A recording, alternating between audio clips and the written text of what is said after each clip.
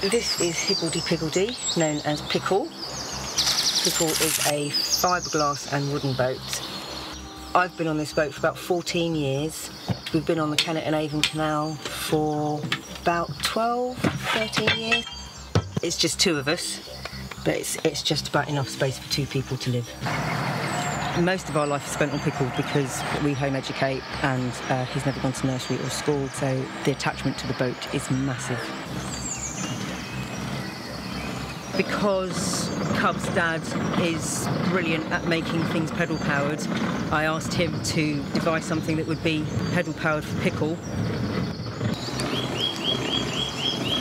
There's no need to be fast on the canal, you can only go at four miles an hour anyway. It's a beautiful valley, why would you want to pollute it with a massive, great big diesel engine if you don't need to? Just a slight bit of breeze, and it pushes me off course. I've got very little control. Still.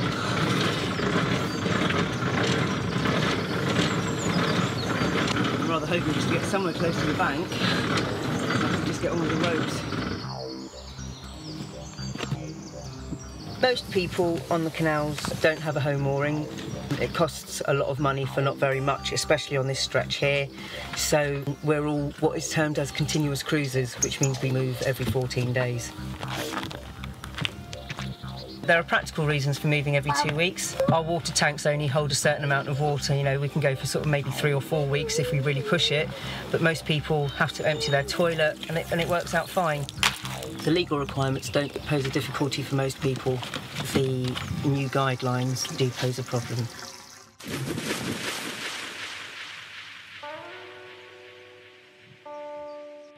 I think people understand that when you're managing 2,000 miles of canals and rivers, that you have to do lots of things that ideally we wouldn't want to spend our money on. We sometimes have to take action against people who are abusing the, canals and the rivers and uh, making them unpleasant for other people.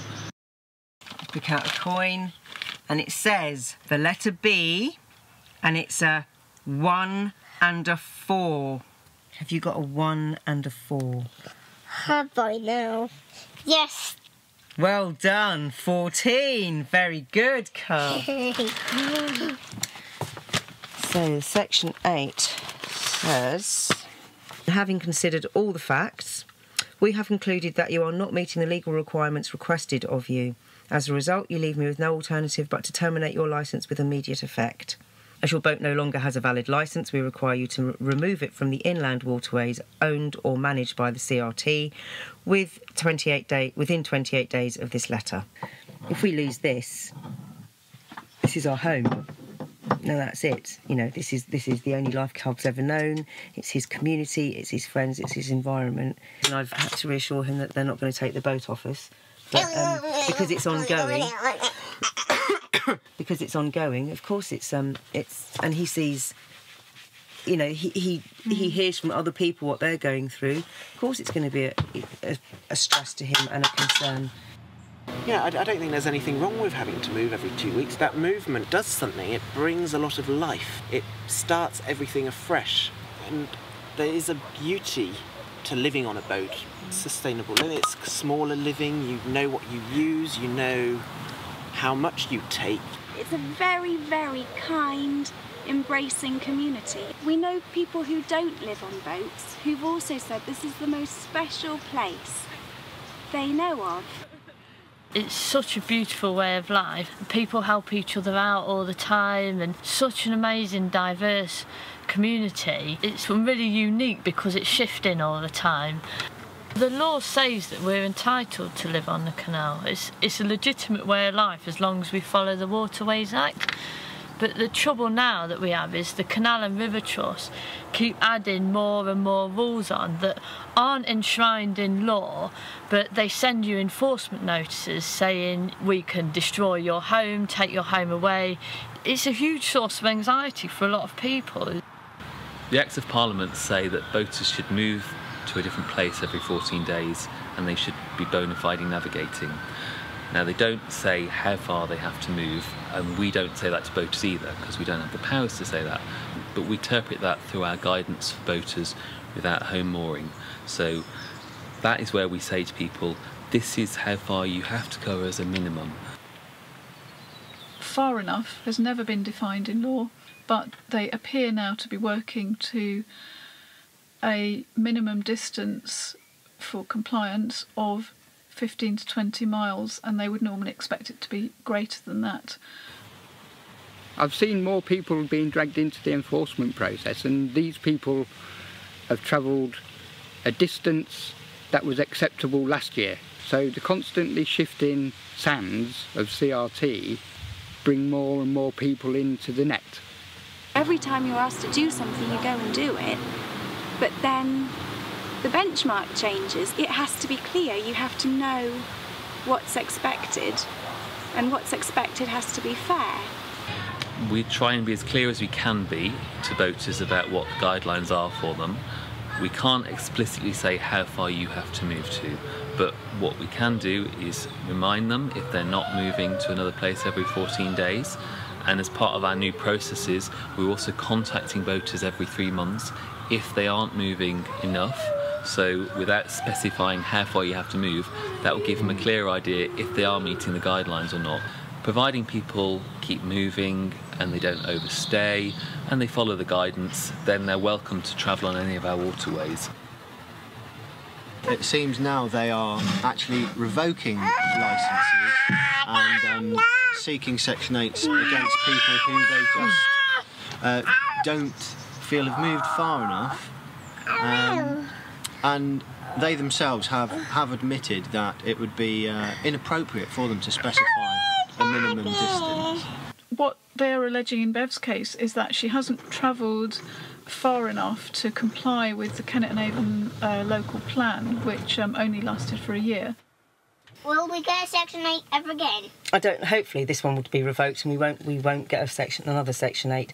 A Section Eight really is for abandoned or sunken boats, and a Section Thirteen is for boats who are on the water without a license. Now, I've got a license, except they've revoked it, and they've asked my license dispatched, and they've sent me, you know, a cheque for the unused portion of my license, which I haven't cashed because, as far as I'm concerned, I still have a valid license. I'm abiding by the 1995 Waterways Act, which is to move our vessel every 14 days to a different place unless there's reasonable circumstances. The dubious legality of it is it's massive really. It's wasted thousands and thousands of pounds of crt's money. It's a charity and this is what their money is going towards.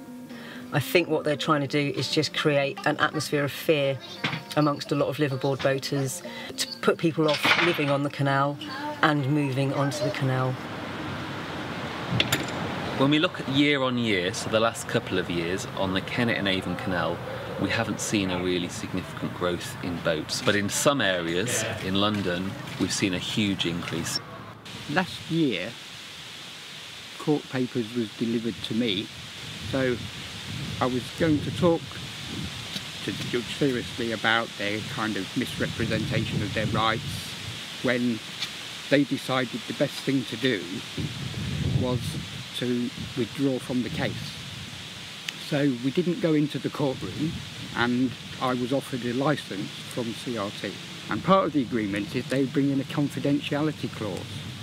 And they've done this to several people because I guess they don't want the whole world knowing what's going on. I don't know how much enforcement is costing overall, but it looks like they've made up their minds that getting two or three hundred boats without home moorings off the water is worth the money that it's going to cost them. I don't think there ever is a logical explanation for prejudice. It's not logical. This persecution of boat dwellers without home moorings is irrational. At the time I was contemplating, I was actually threatening to hang myself in a tree. Um, and I was feeling desperately suicidal. And I was seriously saying the worst move of my life was ever getting a boat on the waterways. You know, because of this. It's that that destroys your life. Honest. So, you know, and it is sad. People did enjoy the life here. And they're not enjoying it anymore.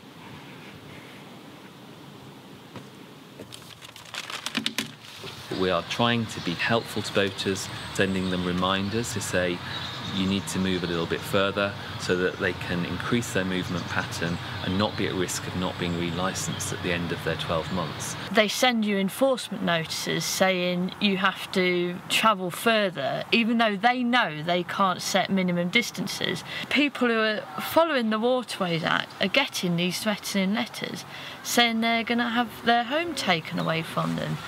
They're now refusing to renew a lot of people's boat licences for 12 months, and since the policy came into effect, about a third of the total number of boats without a home mooring have had licence renewal for 12 months refused. That's a third of boaters without a home mooring who um, are at risk of losing their homes.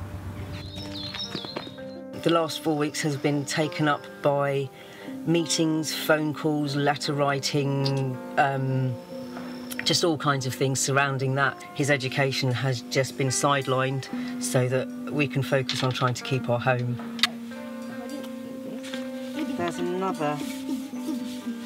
That's the that's the first two sheets of it. Are those finch? I know this is taking a long time, Cub, but this is what the last few weeks have been about, haven't they? And I've asked you to be patient. And when we go to Bath, we can just hang out for a bit, okay?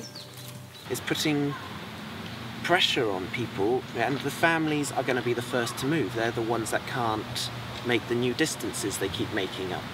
And once you've lost the families, you're losing a big part of the spirit. Narwham River Trust aren't a housing business. That's not what they do. They're not in social housing essentially, which is what a lot of people do- they do have, use like, it for. 450 But they, like, yeah, but they have to something. now because of the amount of people living here. That that is their job. My last letter from Canal and River Trust, which was sent to my postal address, didn't have any postage on, so I ended up having to pay for it, uh, which is here. The vessel known as Higgledy Piggledy, currently moored or left, is there without lawful authority because they've removed my lawful authority. We, the Canal and River Trust, intend to remove the vessel known as Higgledy Piggledy from the inland waterways. That's two days' time that they, are intend to remove our, our boat from the water. I will be liable for all expenses. CRT may at any time thereafter remove or demolish a houseboat known as Higgledy Piggledy.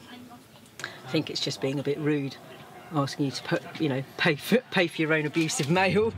I would imagine that if everybody suddenly discovered that they could travel in excess of 15 to 20 miles over their licence year, then Canal River Trust would move the goalposts and they would make it 30 miles and then 40 miles and then 50 miles until they got rid of all the liveaboard boaters without home moorings that they wanted to get rid of, which is probably most of us.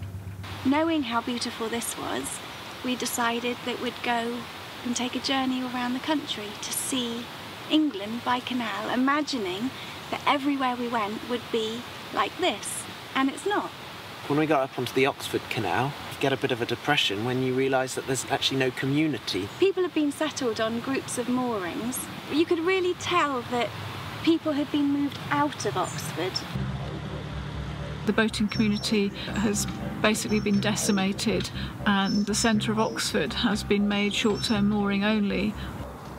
On the Gloucester and Sharpness Canal, enforcement has concentrated on forcing boaters to travel on extremely dangerous tidal waters, and many people have put themselves and their boats in danger. Enforcement against boaters without home moorings in London has been ramped up in the last few years. London has about 100 miles of inland waterways and there's plenty of space for everybody. One of the problems in London is that a lot of the towpaths in the last eight or so years have been concreted over, which means that boats can't moor there anymore. All of these different strategies are aimed to disperse communities of liveaboard boaters, and uh, indeed, Canal and River Trust uh, declared that as an aim in a, a policy document that it published in 2012. I personally believe that Canal and River Trust would like to turn this into something that's just a leisure industry. They want more hire boaters and they want less liveaboards. Even though they're a charity, they're still a business. So I think Canal and River Trust are trying to increase the amount of money they get from the waterways. Liveaboards don't generate as much money as hire boaters.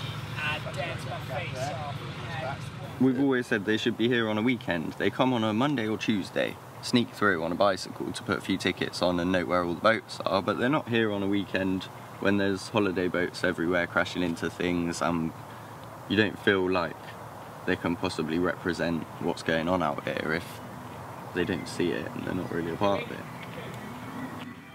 I think a lot of the pressure comes from marinas. I think that's where you've got the big prejudice because of the pressure from that, because there's so much more money in the marinas. I think they have quite a big voice. When there were people on the ground that dealt with the canals, there were lock there was a lock keeper in Bradford, there was a lock keeper in Bath, two lock keepers on Devizes. You know, we got on fine with them. But now they want to run the canals by computer and you can't. They haven't got a clue what's going on. No, they pick on people without even thinking, well, maybe that person is an asset to the canal. It's getting more and more difficult when I hear my friends being told to take your boat and sling your hook. Seen them for 25 years and they're finally they've realised that they're accountable to nobody. They're completely out of control. Article 8 of the European Convention on Human Rights states that a public body has to respect people's homes. We're not a public body, are we now? But we have some public functions, which is the navigation authority bit. I replied to my section 13, got the email from CRT with the response saying, take it to the next level if you like, but we haven't taken anything you say as a valid reason for you not moving and we're not going to reinstate your licence. You know, the amount of time and energy that I'm putting into trying to deal with CRT is detracting so much from the energy that I ought to be putting into Cub that I just started to put more effort into trying to sell the boat because quite frankly it's not a place that I want to live anymore. I feel wrong to be going when I know I'm in a strong position to kind of fight my corner, but I haven't got the energy to be doing it anymore. I've been doing it for too long. So I'm selling my boat for less than half of the insured value and I'm moving off and I'm trying to turn it into something positive, an adventure. It's a chance to see other cultures, see different things, but it does mean that we're moving into a tiny little van. We're gutted, like he's cried himself to sleep so many times, but we'll do something else. Hello. Boaters feel insecure about what's actually required of them and they're fearful for the future. They're afraid of what's going to happen, so they either decide to give up their homes or they travel distances that make their lives extremely difficult and put them out of reach of things like their children's school or medical facilities or make it extremely difficult for them to get to work every day. You're going to come and help with the sail then, Cub? You to come and help?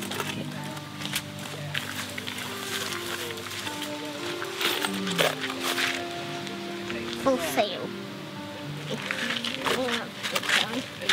Thank you. Just gets it all out of the boat. That's the important thing. Yeah. I need to get rid of loads and loads of other stuff. I don't really like selling my toys because I've never done it. Do- Selling quite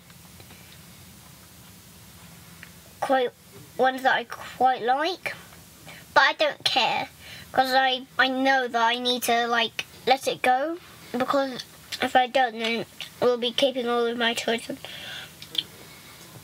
Not much of hers, and it'll be a bit unfair. So I need to let it go.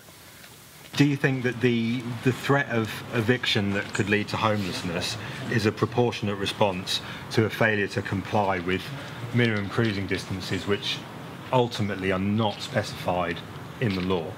It's never a good thing when boats have to go to court, and ultimately, we have to take that action if people ignore the guidance and take advantage of the waterways. Before, it was a handful every year, and the majority of boaters seem to think that these criminal types or whatever they were portrayed as ought to be swiftly dealt with and everybody was kind of cheering on the management. But I think a lot of people are now wising up to what the management is actually doing and because more people are involved in the enforcement programme, there's more people willing to defend themselves. Nobody minds moving. It's part of the way of life. It's what we embrace about the lifestyle.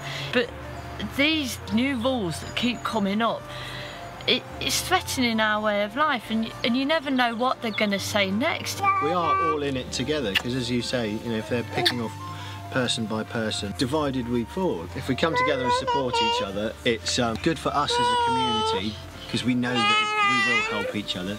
Um, and it also sends a message to um, CRT that you know uh, there there will be uh, discussion about this. We won't just be ridden over roughshod.